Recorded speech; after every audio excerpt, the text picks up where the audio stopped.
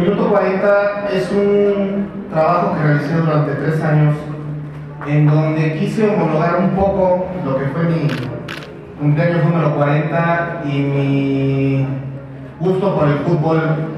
Ahí reflejo que estoy dando la idea de em, que empieza mi segundo tiempo de vida y lo festejo de esa manera. ¿sí?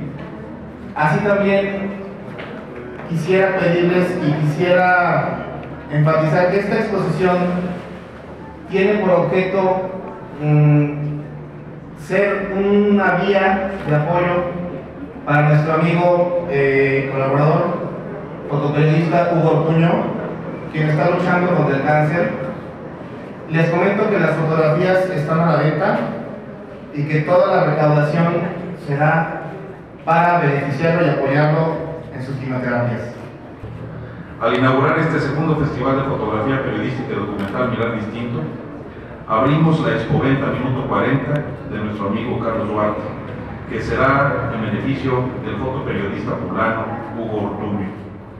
He visto la solidaridad de ABC Noticias para con el gremio de periodistas y fotoreporteros de Jalapa, de Veracruz, de México y el mundo.